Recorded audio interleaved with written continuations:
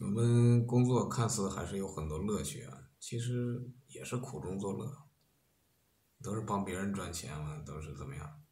而且，需要生活嘛，找这些工作呀，一方面要兼顾自己内心真正的追求，觉得什么才有意义，过上自己所擅长的方面能做的，阶段性的，找工作的时间。都占了三分之一，真正工作只有三分之一，那剩下了三分之一，还要生活，日常琐碎，心也是不安的，所以跳来跳去啊，没有定下来，也不是什么好事。即便是创业，那也是很累心的。当了老板的人，你可以知道，没当觉得那样很自由。确实，这个时代也造就了很多很多老板是被逼出来的，那没办法不受用。我觉得他们做的确实很那个，结果自己做起来那一样麻烦，一样累心。也许能好一点，但是这个过程当中。是很煎熬的，你要雇人，兼顾人家的生活，当一个好的老板就得这样。那当差的呢？你想办法压榨，也动心思也很累。啊，还有各个物方面要兼顾，那技术设备、人员、水电啊，什么什么。各个部门的分工，那真的玩转了之后啊，你可以很省心。那具体的事都是他们去做，你只负责盖章签字儿，好就行了。不行，嗯，你说了算。老板是最大的，剩下底下的那都是狐假虎威。别以为什么权利，说开你就开你，还没过年就提前回家了。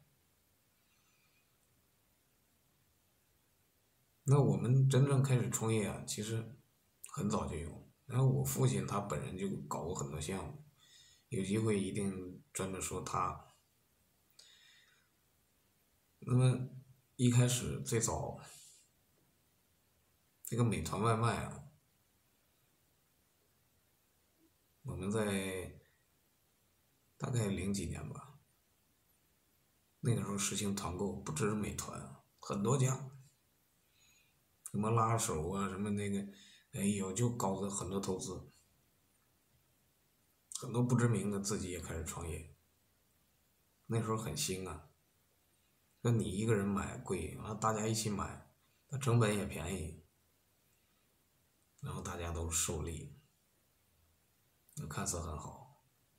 现在都成了团购，都是象征性的，各买各的，谁也不认识谁嘛，你搞那一起还很麻烦。它没有形成那么社区化的便利的服务，那都是假的，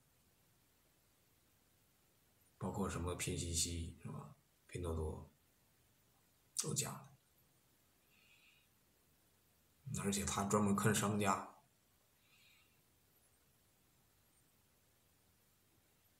那有的感觉好像坑买家。他很聪明，坑商家。再到后期，什么转一转的，砍一刀，连买家也开始坑，那就完了嘛。要不然他怎么早早就跑路了，转行了呢？然后那时候我们其实模式啊，甚至比现现在美团都要超前，就是没有投资。